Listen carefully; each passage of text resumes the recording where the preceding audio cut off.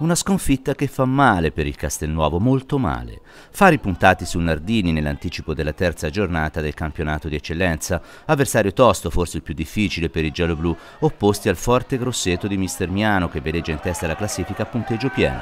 Compito arduo per Cecchini e compagni al cospetto della favorita numero uno per la promozione in Serie D.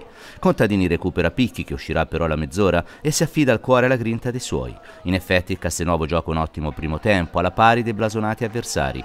I Garfagnini ribattono colpo su colpo ai biancorossi maremmani e ci sono occasioni da ambo le parti. Nella ripresa Nardini si infiamma per la rete di Bosi, classe 2000, Gori sfiora raddoppio ma nel finale, dopo che la squadra di Contadini è rimasta in 10 per espulsione di Ceciarini, il Grosseto ribalta il match con i gol di Andreotti e Molinari in pieno recupero. Vincono i maremmani ma il Castelnuovo esce a testa alta e con non pochi rimpianti.